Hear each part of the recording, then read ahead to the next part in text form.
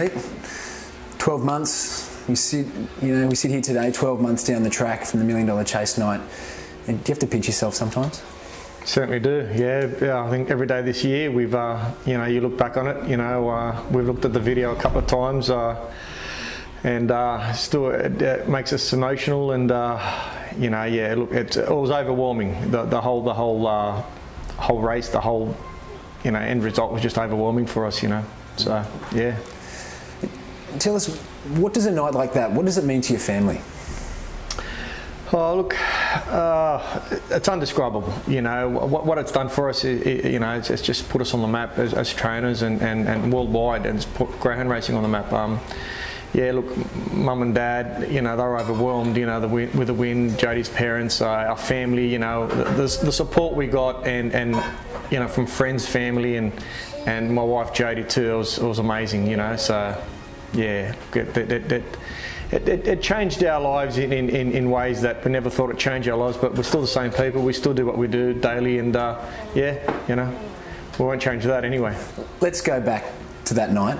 You know, there's now the famous line that you, when you got in the car, you said to Jodie, let's go become millionaires. Did that happen? Yeah, yeah we still talk about it today. Yeah, it did happen. Yeah, look, um, you know, I was out there getting the dogs ready, Jodie was getting the kids ready, and um, and you know we crossed paths in the hallway as, as we were walking out and uh, and I said to Jodes, I said, you know, I give her a kiss on the cheek and I said, let's go become millionaires. And she goes, let's, you know, and um, just something, there was a moment there that, that we looked into each other's eyes and, and, and realised that, hey, we, we really could do this. Um, and, um, you know, it was, it was, a big build up, you know, the, uh, and knowing full well that four weeks ago we, we thought we weren't going to have a runner in the series. So, um, yeah, it was.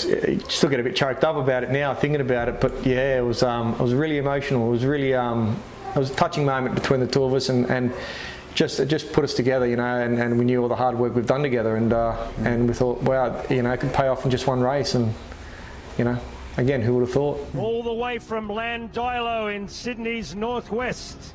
From the kennels of Jodie Lagogiane, number seven, Mystic Riot owned by Colin and Sandra. Fast forward to the parade. There's about 5,000 people there packed out at Wentworth Park. And you walked out Mystic Riot in, in the seven rug. What are you feeling at that moment? Yeah, uh, it was a little bit surreal, you know, knowing that hey, we're walking to the boxes for a million bucks. That's, that's I think there and then I looked at I looked at Mystic and uh, Little Jewel and, and, and she looked up at me and I gave her a bit of a pat and I said, "Let's go, girl," you know. And I think that, that that's when the realization sort of hit. Thought this is it, you know. You know, in the next two minutes we're going to know whether we're going to be, you know, millionaires or not. So it's I think the heart started beating then. You know, um, yeah, the, it was rapid fire. Let's let's call it then. So yeah. Well, if it was beating then, I imagine it was in overdrive when you when you put her in the boxes. How how how was that moment then? Yeah, look, um, put her in the boxes, give her a little pat on the bum, and said, "Go get him, girl," and um, and mate, she did. Green light has been turned on. Life-changing moment awaits. Here we go. Set. Look, I, I, I, it, there was a, there was a roar of a crowd. It was a, it was a massive roar of the crowd. It was, you know, um, and and you didn't you didn't you didn't actually. It was all just very surreal. It was all like a like a film, you know, like. Racing, Skyway Dweldon, Mystic Riot came out running. She's charging to the lead, led by three, Skyway working to second.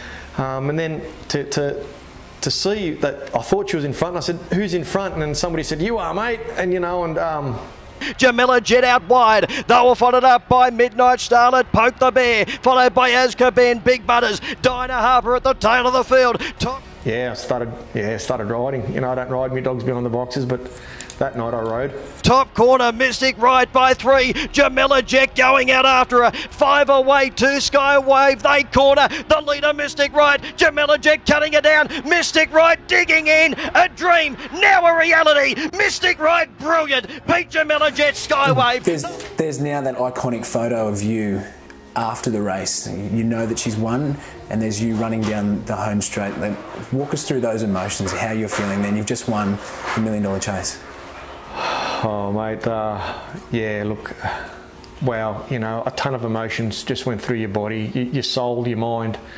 Um, I, I, I, you know, it's still undescribable today. You know, you, you can't put them things in words. You know, mm. all week we never thought about winning. You know, you don't go into a race think about winning. You just go into a race thinking that have I done the right job? Have I done the right things? Have have my you know I's been dotted? Have my T's been crossed? Um, and that's that's what we did all week. We didn't, you know, um, we didn't go there saying we're going to win it. We just we had a chance. Um, so for it to happen, it, it's still indescribable today. I, I, you can't put them emotions in words. That was just raw. That was, you know, uh, since the age of 14, you know, I, I, was in greyhounds. I was involved in greyhounds, and you know, I was, yeah, just, you know, lump in the throat stuff. That's that's that's what it, uh, that's that's the only thing I can say about it. So yeah, somebody will feel that again this year. You know what, what we felt, and uh, and they'll know. They'll, they'll. Your wife Jodie and she's been such a big part of, of that, that whole Mystic Riot journey. She walks out into the track and you embrace her. Like that must be something very special. Yeah, yeah.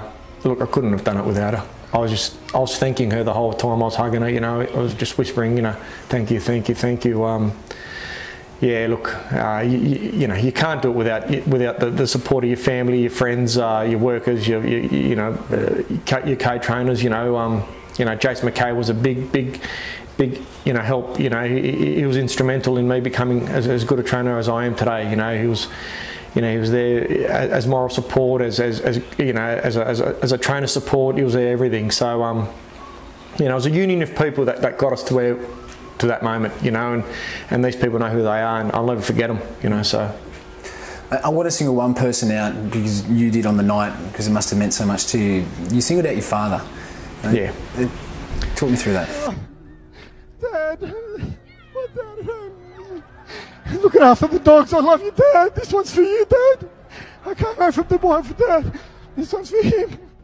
As, as you know, we spent some time overseas. Um, we had a great contract and uh, training in Dubai, and uh, um, Dad fell ill.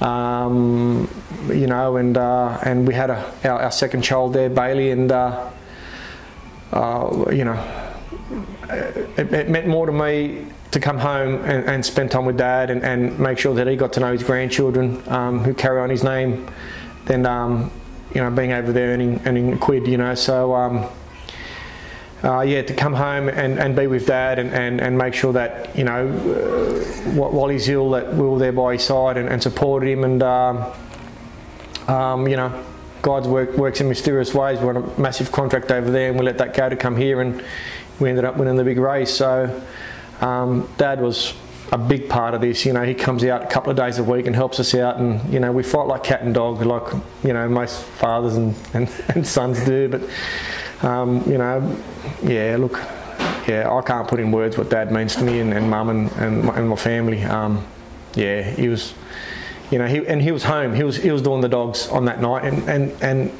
I remember, I remember a day before we left, he said, uh, we raced, he said, uh, geez, I, wish, I wish I was out there with you. And I said, come on, Dad. He goes, no. He says, no way. He says, I won't leave these dogs here. You know, you go, you go get it, you go win it, and I'll be here. I'll be looking after the dogs. So, yeah, look, mate, you, you, you can't find help like that anywhere, eh? You know, so. Mm. That's family. That's, that's family, yeah. It's, that, mate, that's more than family. That's, you know, he, you know, he carries my soul around. So, you know, that's pretty good for me.